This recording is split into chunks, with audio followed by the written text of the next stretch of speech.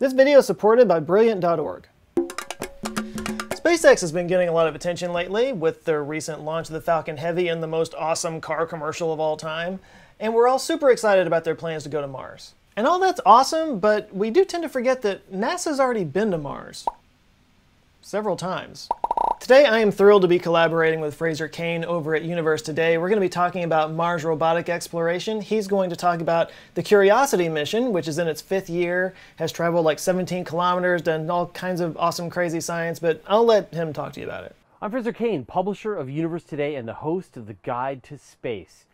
Joe's going to bring you up to speed on the upcoming Mars 2020 rover. And once that's all in your brain, jump on over to my channel for a nostalgic look back at NASA's Curiosity rover. Seven minutes of terror, an epic climb across the brutal Martian landscape, adorable selfies. Curiosity passed 2,000 days on Mars. Triple the original mission plan. What have we learned so far? Now I'll be talking about the next NASA rover that's going to be going to Mars, the Mars 2020 rover, and maybe some of the stuff they've got planned after that. So make sure and check out Fraser's video about Curiosity to get the full picture because, spoiler alert, the Mars 2020 rover is very heavily based on Curiosity and learned a lot of lessons from Curiosity. It's basically Curiosity's younger sister. Curiosity's younger, more high-tech, super advanced 2,000 pound sister. 25 years ago, NASA launched their long-term program for exploring Mars called the Mars Exploration Program. And all of NASA's Mars missions since then have fallen under this program, including the Mars 2020 rover. The MEP had four stated goals. 1. Determine whether life ever arose on Mars. Understanding whether life ever arose on Mars helps us to understand how life could have evolved right here on Earth, and the possibility of intelligent life out there in the universe. 2. Characterize the climate of Mars. Mars once had lakes of liquid water and probably a thicker atmosphere, much like Earth. You know it's also a lot like Earth? Earth. What happened on Mars? What went wrong and what can we learn to keep that from happening here? These are things we want to find out. 3. Characterize the geology of Mars. Mars has some extreme geology. Mars has the tallest volcano in the entire solar system, Olympus Mons. It's 27 kilometers tall, three times taller than Everest. By the way, Everest is technically not the tallest mountain on Earth. That's actually the Hawaiian Islands, Mauna Kea specifically. Everest is the highest above sea level at 8,848 meters, but the base of Mauna Kea is at the ocean floor. That makes it 10,203 meters. The entire Hawaiian island chain was created by a hotspot of magma underneath the Pacific Plate. And over millions of years, as that Pacific Plate moved over the top of it, it would poke holes up through the plate and created these volcanoes that rose up to the surface and created the Hawaiian Islands. But Mars didn't have shifting plates, so once that magma started coming through the surface and created Olympus Mons, it just kept growing and growing and growing in the same spot. And with little weather or erosion to wear it all down, it became the biggest volcano in the entire solar system. We also know there used to be a magnetic field on Mars just like here on Earth. So what went wrong there? These are questions being examined. And number four, prepare for human exploration. When humans land on Mars, they're going to be completely on their own. There's no getting on the ship and going back if something goes wrong. So before they go, every idea and every technology has to be tested to the limit. And we need to know as much as possible about how the environment there is going to affect humans and our equipment so that we can be there for the longest amount of time possible. But those four goals have been the driving force behind NASA's Mars exploration program. Every single Mars mission in the last 25 years has fit into one or more of those goals. So how does the Mars 2020 rover address those concerns? With these four objectives. Science Objective A, explore once potentially habitable areas. Mars 2020 will be examining areas that were once underwater and have the most opportunity to have once created life. Science Objective B, seek biosignatures. The rover's suite of instruments are designed to examine the soil for traces of chemical elements that are associated with life. Science Objective C, sample caching.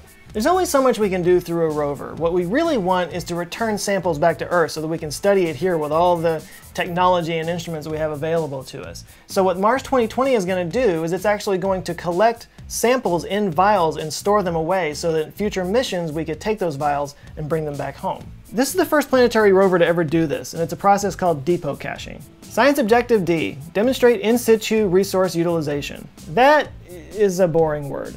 But it's super important. In situ resource utilization, or ISRU, is the ability to make fuel and breathable air from the resources there on Mars. The new rover is going to have an experiment on board that's going to attempt to make oxygen from the CO2 in the atmosphere. In a real way, every Mars mission from SpaceX to NASA or anybody for that matter is going to have to be able to do this. So this is a really big deal, and this is the first time it's being tried on Mars. In terms of design, the Mars 2020 rover takes a bit of a if it ain't broke, don't fix it approach, and basically uses the same design as the Curiosity rover with a few upgrades, including new wheels because the Curiosity's wheels took more of a beating than they expected. And it uses the same crazy crane down uh, landing technique that Curiosity did, but it actually has a more advanced system with uh, sensors and something called terrain relative navigation, so it can actually use AI software to make it land exactly where they want it to. But it's the advanced suite of instruments on the Mars 2020 rover that really sets it apart from Curiosity and helps it to achieve achieve its goals. It has two cameras on the probe's mast, one called Mastcam Z, which is the main eye for the rover. It can take 360 degree panoramic 3D views with an advanced zoom that can see something the size of a housefly from the distance of a soccer field. And the second camera is called SuperCam. This can actually do a spectrographic analysis of a rock's chemical makeup from over 20 feet away by burning a hole in the rock as small as the point of a pencil with a laser. This was developed in conjunction with a team from France. PIXL, or Planetary Instrument for X-ray Lithochemistry, will examine rock and soil samples for signs of ancient microbial life and can take extremely close-up images of soil samples down to the size of a grain of salt. MEDA, the Mars Environmental Dynamics Analyzer, is a contribution from a team in Spain. It's a tiny weather lab that measures wind speed, temperature, and humidity, and also gathers data about dust particles in the Martian atmosphere. RIMFAX, the radar imager for Mars subsurface experiment from Norway, is basically like a sonogram that can see tens of meters below the ground and detect elements down to the centimeter. This will help find underground water and ice on Mars.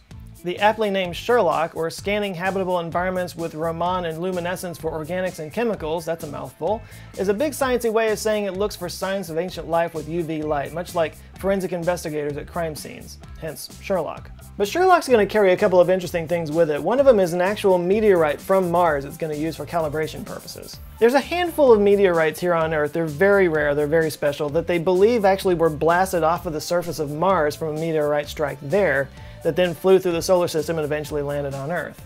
Sherlock is going to carry a piece of one of these meteorites with it to calibrate its laser there on the Martian surface, which means this is going to be the first time a piece of Mars is going to be taken back to Mars. The other thing is it's going to be taking samples of materials that may be used for Martian spacesuits so we can see how well they fare in the Martian environment.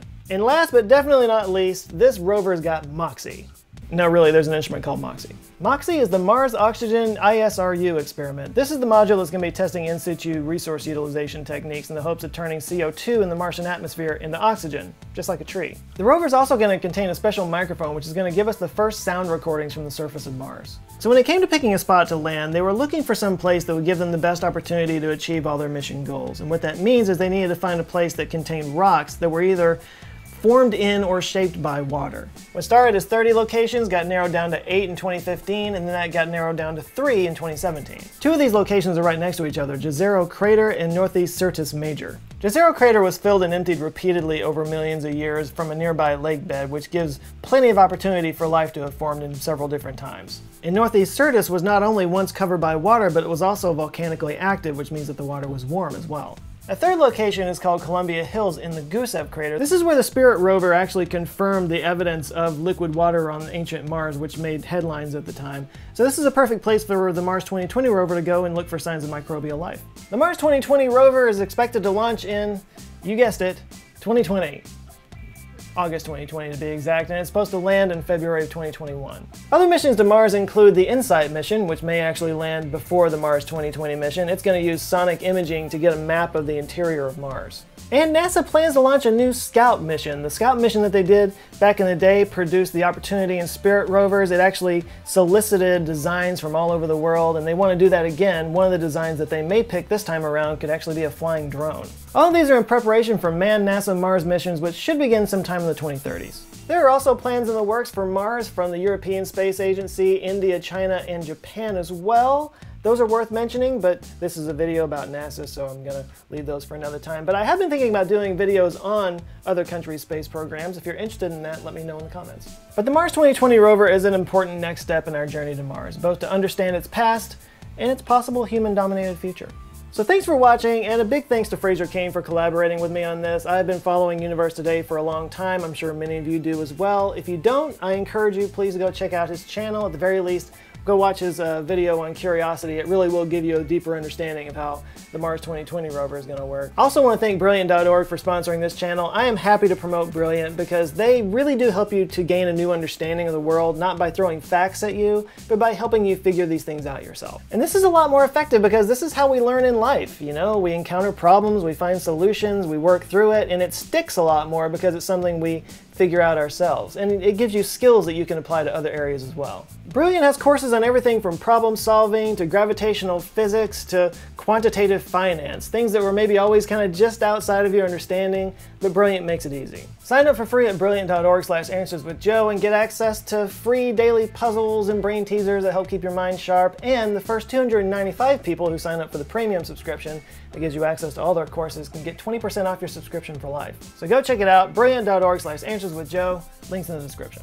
Last but not least, I want to thank the Answer Files on Patreon who help keep the lights on around here. It is highly appreciated. We had some new people that joined the squad. I want to call them out real quick. We've got Rob PT, Andrew Baker, Brooke Clevenger, Roberto Laura, Emil Forsmark, Michael Truesdell, James Rushing, Lillian Weber, Cameron Halpin, Benjamin Rosner, and Jorge Cazares. Thank you guys so much. If you'd like to join them, get access to some cool perks that nobody else gets to have, you can go to patreon.com slash answerswithjoe. All right, like and share if you liked it, and if this is your first time here, I encourage you to watch some other videos of mine, and if you like those, please do subscribe, because I come back with videos like this every Monday. All right, you guys go out and have an eye-opening week, and I will see you next Monday.